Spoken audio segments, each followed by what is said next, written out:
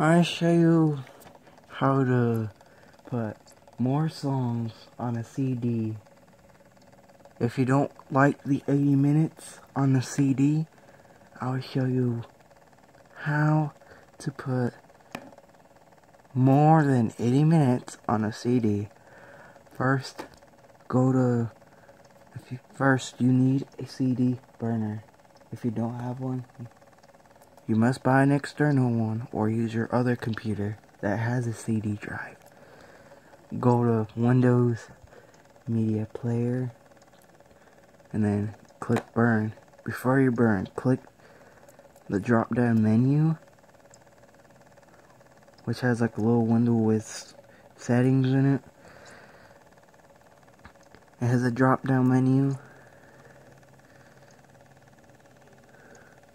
that says data disk and audio CD.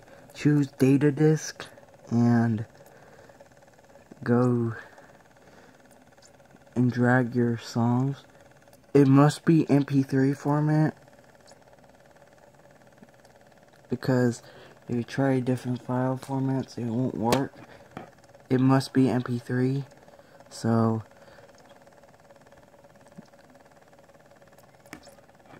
try it on a computer that has a CD drive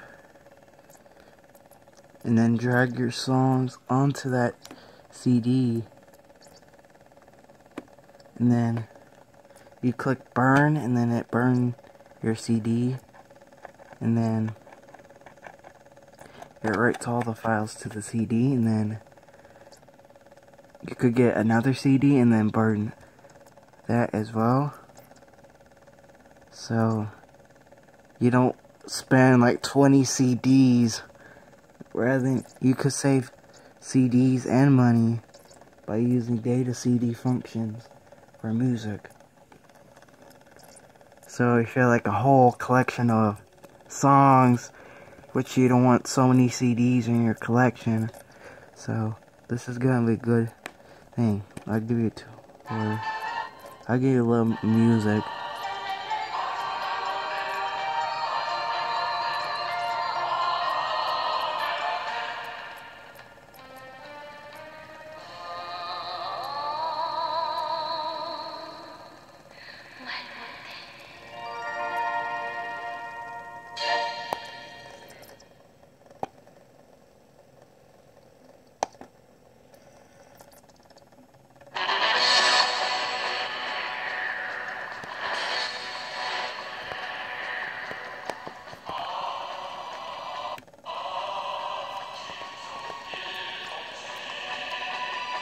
I guess I'm on with Korean propaganda. I'm not going to show you the whole two minutes of it, which I don't have time.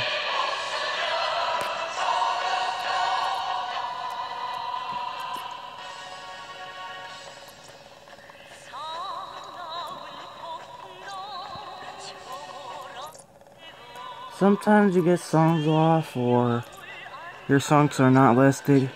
If you have a rewritable disc, there's no problem if you have one of these type of CDs which doesn't allow you to um, rewrite them. Uh, turn that down.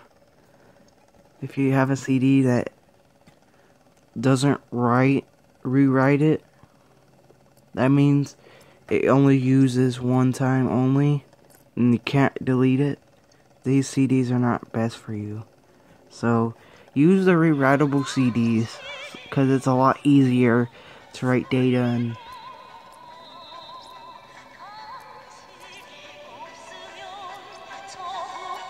Alright, that's enough of this stuff. Sorry, get the case open. Uh, as for our Stormer CDs, let's put this CD, this CD, and this CD. I'm putting the blank one in here. Probably gonna burn something. So there's my CDs. It's going in here. It's going in this case. So I'm putting in the little cable, the cradle thingy. So it came all CD safe. It's fresh. I keep my CDs fresh in here. So, that's inside the DVD player. That's it.